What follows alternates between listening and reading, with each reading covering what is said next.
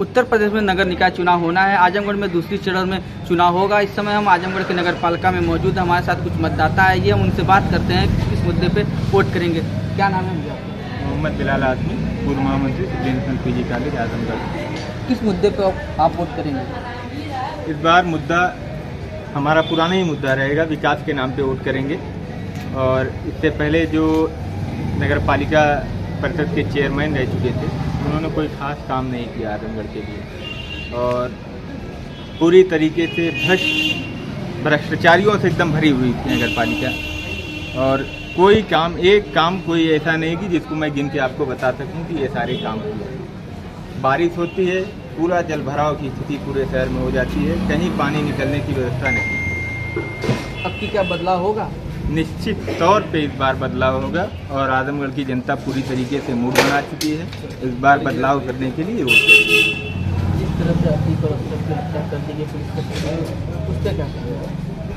ये तो पूरी तरीके से ये कह लीजिए कि कानून व्यवस्था भ्रष्ट हो चुकी है और सरकार चलाने में बीजेपी पूरी तरीके से नाकाम है। हमारे साथ कुछ लोग और किस मुद्दे पे आप वोट करेंगे? जी मैं विकास के मुद्दे पर वोट करूँगा भ्रष्टाचार के मुद्दे पर करूँगा बदलाव पे वोट करूँगा। जो इसके पहले चेयरमैन थे आजमगढ़ में कुछ किए थे? जी हम उनके कार्यों से संतुष्ट नहीं है उन्होंने कोई काम नहीं किया है। बस यहाँ पर सिर्फ़ और सिर्फ़ भ्रष्टाचार हुआ है आजमगढ़ नगर पालिका तराही तराही नष्ट हो गई है भ्रष्टाचार से कोई कार्य नहीं हुआ जिससे कि हम संतुष्ट हों। अब की बदलाव होगा? अब की बदलाव बिल्कुल होगा। बदलाव के लिए ही वोट करेंगे हम लोग। सुरक्षा व्यवस्था जिस तरह अतीक की हत्या कर दी गई, उस पर आपका क्या कहना है? देखिए, सुरक्षा व्यवस्था आदित्यनाथ योगी सरकार में जो ज़ीरो टॉलरेंस नीति अपना रहे हैं ये लोग, ये ज़ीरो टॉलरेंस नीति नहीं है। ये सिर्फ़ एक तरफा कार्यवाही हो रही है, एक तरफा एक धर्म के लोगों को कहिए तो डिपेंड, टारगेट किया जा रहा है। ऐसा इसमें कुछ नहीं है, उनको पुलिस कस्टडी में मारा गया और पुलिस कस्टडी में पुलिस मूर्ख दर्शक बनी रही।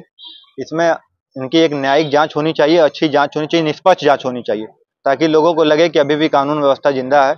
जुडिशियल ज़िंदा है कोर्ट ज़िंदा है। क्या नाम है आपका? नौशाद खान। किस मुद्दे पे आप वोट करेंगे? मुद्दे का मतलब ये है कि विकास के मुद्दे पे वोट करेंगे और कानून व्यवस्था ठीक ठाक से रहे इस मुद्दे पे वोट करना है हम लोगों को। और आजकल कानून व्यवस्था इतनी खराब हो चुकी है कि जिसका कोई हिसाब नहीं अभी जल्द ही में जो घटना घटी हुई है अतीक अहमद की कि ये सारे लोग जानते हैं कि पुलिस कस्टडी में वो मारा गया और पुलिस मूर्ख दर्शक बनी रही कुछ कर नहीं पाई। वहाँ सारे लोग मौजूद थे, मगर कुछ नहीं हुआ। जिस तरह की ये घटना हुई, बहुत निंदनीय है। उससे बहुत अफसोस होता है ये घटना देख के कि कानून व्यवस्था कोई मतलब ही नहीं रह गया है। और रही बात, जब इस तरह से न्याय होगा तो जुडिशरी को बंद कर देना चाहिए, क्योंकि फिर जुडिशरी का क्या मतलब है? कोई मतलब तो नहीं निकलता मेरे हिसाब से। फिर जब गोली ही मार के सबको इंसाफ चाहिए तो गोली ही मार के इंसाफ पाए। आजमगढ़ में बदलाव अब की होगा कि नहीं? उम्मीद तो पूरी है कि बदलाव किया जाए।